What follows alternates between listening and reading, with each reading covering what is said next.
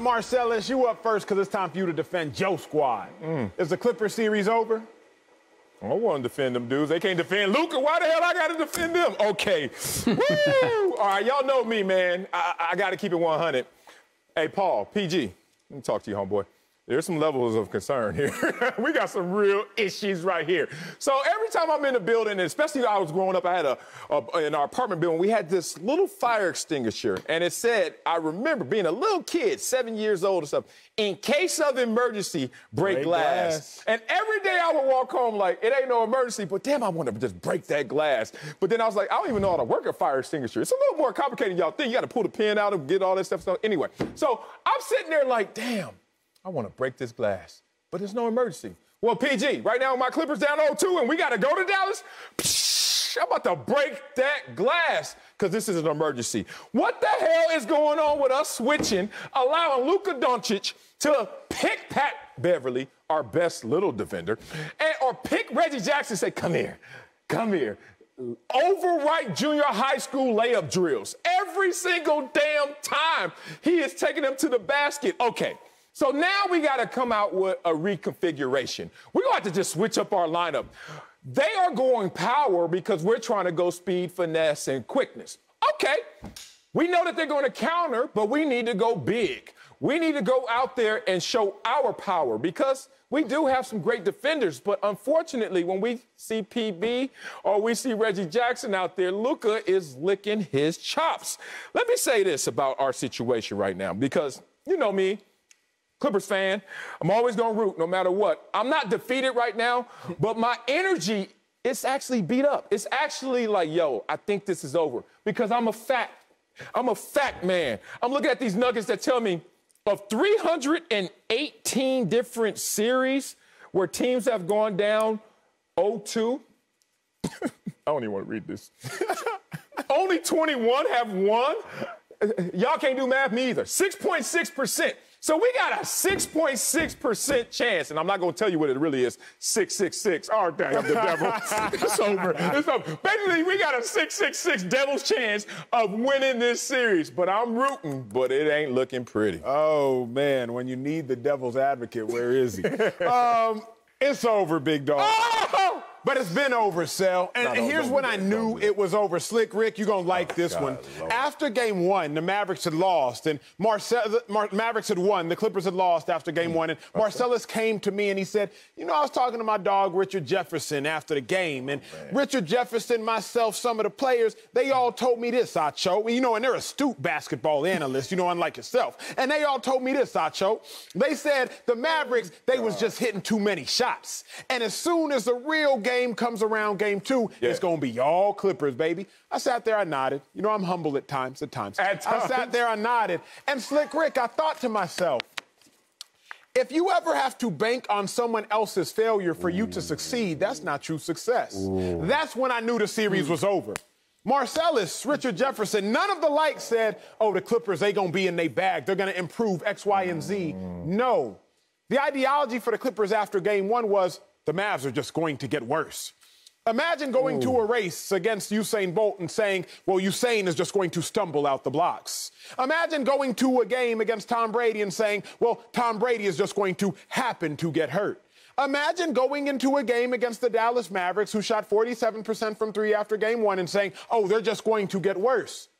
What if they don't? Oh. Because game two, they shot 53% from three. What if they don't? So I knew the series was over officially after game one when Clippers fans and NBA analysts, their ideology for the Clippers winning wasn't that the Clippers were going to improve, but very simply, the Mavericks are going to get worse. Well, Luke ain't getting no worse.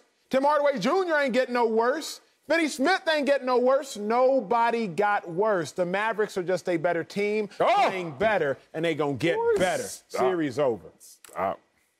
That wasn't my ideology coming out of game one. I thought the Clippers, uh, having shot 41%, best in the league all year from three, were going to shoot better in game two. And that would be the difference because that game one was there for the taking right to the final minutes. So that wasn't my ideology. But, and so having said that, going into game two, I would have said, no, this is not over. In fact, even after game two, I would have said, this isn't over. Until I heard Paul George speak. Mm. Now I know it's over. Mm. Mm. Because number one, I heard Paul George speak. I don't need to hear from the assistant at this gotta point. for I need to hear from the leader. And I certainly don't need to hear that you're down 0 2. And as Marcellus aptly pointed out, the percentages there, there's no concern. Yeah. When are you going to get concerned? Never mind winning this series.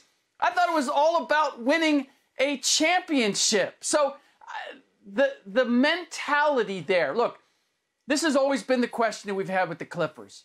The soft underbelly mentality that we even heard from PG last year after the fact that well, I didn't expect us to win a championship this year anyway. What what? What?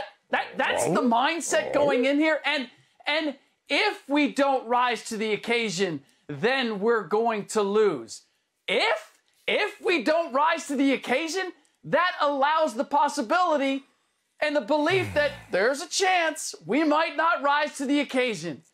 Championship teams, teams that win series, teams that live up to their abilities have none of that thinking and none of that leadership. And it really points to where you can look on paper, you can look at the percentages, as I have, and I've said Clippers have everything they need.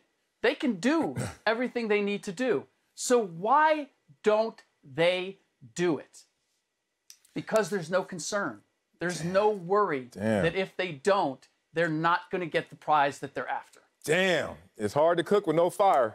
Mm. ah, slick, you broke that down right there. And I, I- ugh, I still am rooting. I still believe, but I do feel a little John Coffey up here, a little Green Mile, like I'm walking to my death. Like, damn it, oh yeah, it's over. Um, but it's not over.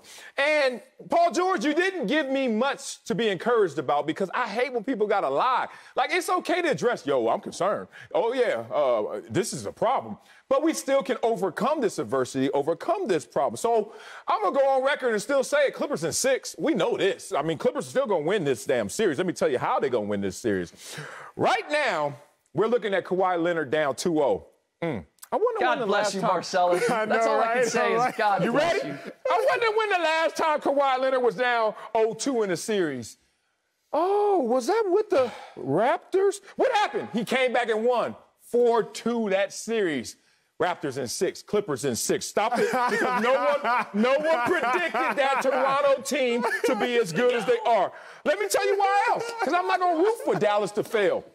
I'm just rooting for Dallas to be Dallas. Right now, I don't know what the hell they are. And I don't know where you're going. What you climbing right now. Slick Rick? I know, I, I know I am. But let me keep reaching, I'm damn it. climbing whatever you're climbing, Hey. brother. I'm holding on to that same rope. Hey, I told him to give me the extra baggy suit today because I needed the room to reach. Let me keep it going. Mavericks 18th in the league in three-point percentage, right? What they shooting right now in this series? 50%. I'm not rooting for the downfall, but sooner or later they're gonna come back down to planet Earth. So if you look at this, the Mavs haven't had three straight games of shooting over 45%. You think they're gonna go home and do it again?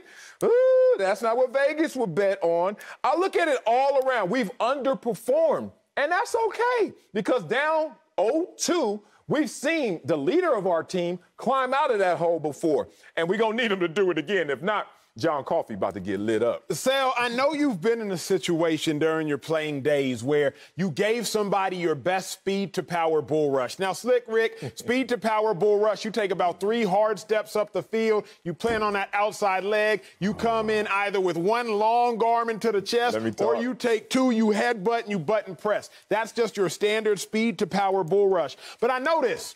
Marcellus has once upon a time come with his best speed to power bull rush, and the offensive lineman just sat there like this.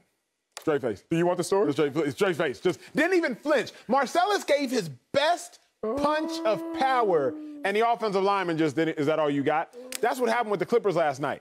Kawhi Leonard, 30 points in the first half. He gave his best speed to power, outside leg, long arm, and the Mavs were looking down 71 73. Like, that's it. That's all you got. 30 points. That's the second most points See, you've I ever scored in your career. I don't honestly career. believe That's all you that got? because That's all got? offensively, maybe they gave them their best shot. but defensively they did not they get by slick. any stretch. Slick, Yeah, they here's- have been the here's why master I of know. the first Here- effort. Here's why I know, Slick, because at this point in time, you can look at a 12 game sample size. You can go back from the Clippers versus Luka in the playoffs last year, all through the regular season this year, to the games right now. Or we can just look at the playoffs, Slick. Luka versus the Clippers, 42 28. He got hurt. 43, 22, 38, 31, 39. Eventually, we have to concede to the fact that the Clippers are just not as good defensively against this Dallas Mavericks team as we believe. Styles make fights, and it's not a great stylistic matchup versus the Clip versus these Dallas Mavericks. No, no, no, At least but- not versus Luka. Well, and that's the point. Are they going to stop Luka? No. Luka is going to get his. But you can't tell me that the complementary players of this Clippers team Thank you. cannot shut down the complementary players of the Dallas Mavericks. And I only wish that the Clippers had someone like Marcellus in their locker room playing on that team that would create the belief that, look, this is how we get it done. I don't care what we've done. I don't care what the mm. numbers say. Mm. This is how we're going to get it done. And I am not hearing that Nope. from anyone. That is my great concern. So, look, I, I this is just the sad aspect of of where the Clippers are. In that Kawhi Leonard needs to be your leader. He needs to step up defensively and say, "I've got this," because he is the most accomplished defensive player.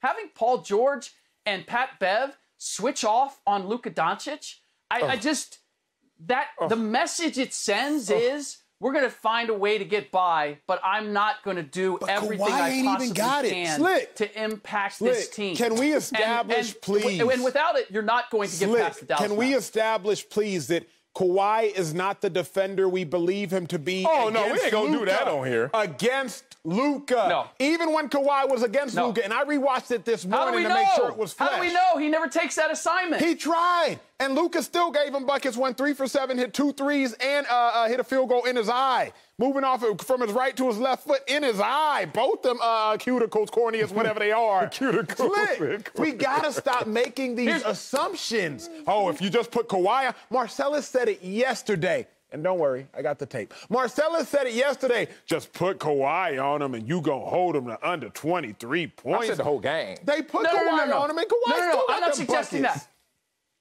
I'm not suggesting that. I'm not suggesting that that, What that suggesting? Kawhi Leonard What you would lock down Luka Doncic. What I'm talking about, and I've been talking about since the beginning of this segment, is the message being sent.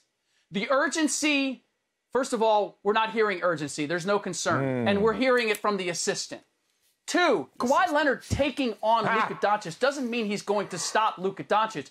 It sends the message to the rest of the team we are going to do everything possible. I am going to do everything possible to, to win this series. I am going to the, do the dirty work. I'm not going to worry about scoring. We need to slow down the Dallas Mavericks. The scoring will take care of itself. And what I saw in game one and I saw in game two was they were hanging around in both games. We can get our shots. We can score when we want. We can drive to the cup and finish. We're, we'll eventually, we'll just, we'll win. We'll, we'll have more firepower. And they weren't doing the dirty work at the other end. And my biggest problem is that if it takes you two games in order to sound the alarm and say we have to do the dirty work, then at some point you're going to win a game or two and you're going to kick back again and say, okay, did we do the dirty work? Are we good? And that's how you end up losing a series to a team that is not as talented as you are. Man, damn. I got a list of uh, five, six quick nuggets. Uh, Slick Rick, you really impressed me on this one because you went to the core of the issue. It's just we don't have enough fire to really light up what we need to cook. It's just that simple. I, uh, my first issue is Tim Hardaway Sr. for having that damn son.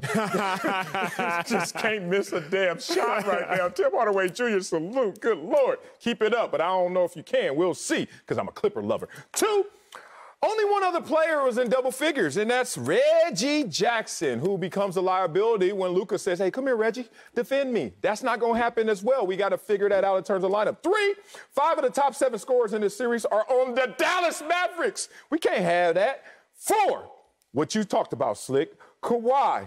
He's a lead by example type. And I'm not going to slight Kawhi because of his personality. But then that makes us, by default, have to look at Paul George. Paul George, you got to stop lying. Like, you can't talk to the masses and talk to the group without authenticity. If you coming up there saying, we ain't concerned, I'm sitting there in the back of the locker room like, boy, I don't know what he's talking about. I am concerned as hell. Five, Acho, I need to see you on screen because you called me out. Speed to power, Walter Jones, Seattle. Oh my God! Walter Jones is the best offensive lineman that ever existed. Okay, I tried to do my speed to power. He giggled at it. Like he didn't move at all. Matt Hasselbeck sitting back there building real estate and portfolios and stuff, not getting touched. So then I said, I'm gonna sucker him. Speed to power, inside move instead of just go through the bull rush. I did it and I beat him. Acho, you know what happened? I beat him, turned him around in a full revolution. He's so damn fast and strong, still recovered, pushed me off, and I ain't getting nothing but dirt naps. Oh my God, Mo. Salute Walter Jones. Clips in six.